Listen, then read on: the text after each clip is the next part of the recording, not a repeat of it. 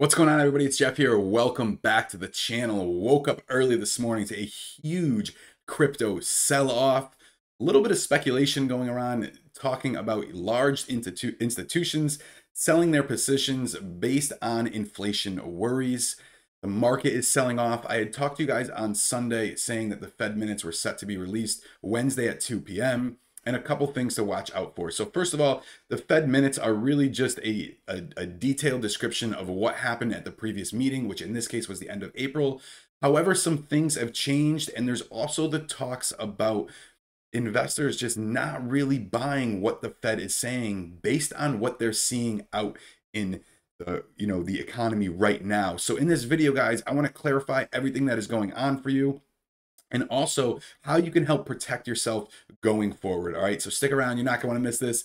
For those of you that are new to the channel, all I ask is you hit that like button and subscribe to join the family. Let's get rocking. First off, first thing I want to talk about is the crypto market cap. It's sitting just under 1.7 trillion after reaching its high the day after Mother's Day of 2.5 trillion dollars. It touched down at that 1.5 trillion dollar mark and started to recover. Ethereum dropped down to I think it was a low of 1890. It's gotten back up to about 2700 dollars to where it currently stands. So a rapid rapid recovery not in all the coins okay? Some of them didn't even take a you know a, a, a big hit. Some of them recovered over 100% so far. So it's all had a little bit of speculation but let's take a look at exactly where the market is going. Now currently the nasdaq is sitting down just half a percent a little bit less than the dow and a little less than where the s&p sits currently. The NASDAQ has struggled because naturally, when worries of inflation happen, the tech sector, the high growth, the speculative stocks really get hammered the most. Okay, so keep that in mind. I talked to you guys earlier a few months going back saying, guys, the huge rotation is happening. The financials, the travel stocks, the beaten down stocks from COVID 19 We're going to be great recovery plays going forward. And I also know a lot of you guys back in February watch your portfolio take a huge, huge blunder. And it was a really good time for you guys to kind of, you know, um, really you know reallocate some of your assets and begin to diversify. And i know a lot of you guys reached out to me and did that so that is awesome. But let's talk about what is going on for the market. First thing i do want to mention guys i told you in a previous video that i wanted to potentially buy a call option against the vix. Go look it up guys if you're unfamiliar. The vix is based on volatility. And whereas when there's a lot of fear in the market as there is today the VIX tends to rise. And buying a call option on the VIX is a great way to hedge uh, against your portfolio when it does get beaten down a little bit. However, the options, the contracts were a little bit expensive, and mine, my limit price did not get filled. If any of you guys did get filled, you are definitely reaping the rewards. And if you are unfamiliar, keep that in mind going forward. Whenever there is the Fed is speaking, it seems like the volatility is always happening lately and buying the VIX, okay, or buying an option uh, on, a call option on the VIX is a great way to hedge your portfolio. So the the minutes are are due at Wednesday at two o'clock. It's just under an hour and a half from where it stands today. And normally, guys, like I said, the minutes are just a recap of what happened at the meeting. However, a lot has changed in the economy since April 28th and 29th meeting.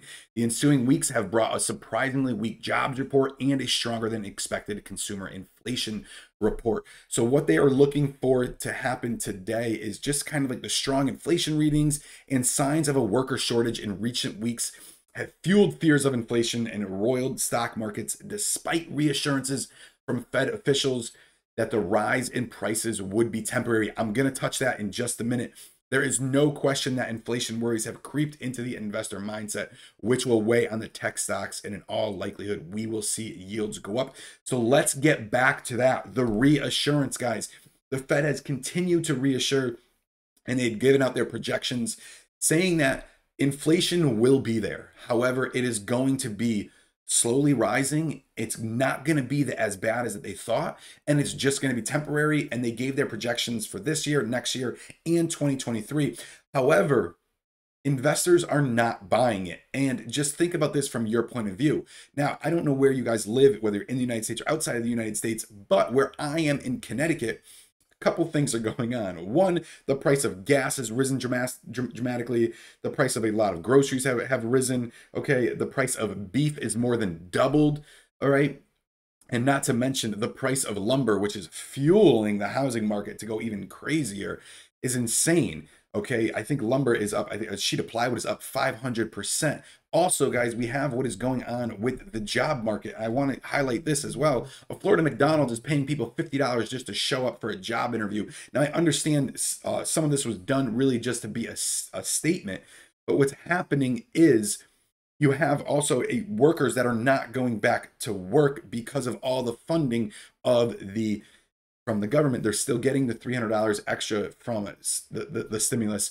You have a child care credit that has been pumping out to families with children. Okay, and what has happened is investors are just worried that that is only going to fuel inflation even farther. All right, so now what can you guys do to help protect yourselves? Well, first off, I want to you guys to understand exactly what happens when inflation and stock prices. So when inflation increases, and you can go look this up in, in Investopedia, but when inflation increases, purchasing power declines and each dollar can buy fewer goods and services. Like I'll give you my example that I just talked about a second ago, plywood or OSB. $100 used to be able to get you six sheets. Now it can barely get you two. Okay, so when inflation is on the upswing, income stock prices generally decline, and investors try to anticipate the factors that impact portfolio and performance, which is something everybody should be doing to the best of their ability and make decisions based on their expectations. And inflation is one of those factors that affect a portfolio. So, if you've been following me for a little while, I've stressed to you guys that it's always good to have 20% cash on hand. Keep 20% of cash in your portfolio to be able to help buy the dip, okay, and help dollar cost average into positions. You should always be dollar costing average into position and slowly getting out of positions, especially in today's market. The 2020 market is totally different. And I know if you guys are new to investing, this is a choppier market than we are in. Okay. Now, if you've been following me and I talked, I told everybody in the group, I now recommend it's slowly gone up from 25% to 30% to 35% cash on hand. Now, with that cash on hand, I still utilize to be able to make swing plays on beaten down, you know, good value stocks that have just been beaten down from bad earnings or you know, you know, they've hit, you know, recent signs of support. Make some day plays. If you're under the PDT rule, definitely be careful with that. But make some day plays, make some swing plays, but I get out of them quick to really maintain that 35% cash on hand. Even a play like Tesla, where I am, you know, my my average with Tesla is much lower than the stock price it is now, I might add to my position as, as it's gotten beaten down. And then as it rises back up to maybe, let's say, hit that next sign of resistance at 700 $720 price point, get out of it to be able to maintain that 35% cash on hand. What's happening, and not only with the institutions, but also with retail investors, which is a big worry uh, of other inve- uh, of investors in general, is that the amount of money that is held off on margin. Okay, it's not just institutions, it's also retail investors. And what what is a worrisome that is what happens is if people are so high leveraged on margin that inevitably when the stock prices go down, you get margin called, which you don't have the cash to be able to cover that call. So you have to sell a security and, and then the selling just continues and it's like a snowball and it just gets bigger and bigger and it just moves faster and faster and faster. And that's a big worrisome from a lot of investors. So my advice to you guys is to tread lightly, be patient, cautious with your entries. You don't have to get a position, take a position every day. Okay, if you are new to options, guys, come join the group. It's a I have an entire options course, 25 videos. There's over three hours explaining everything from beginner to complex option strategies that you can profit in any type of market. Okay, so if you're interested, guys, please come take a look. That's it for this video, guys. Be careful, be patient. I'll see you in the next one.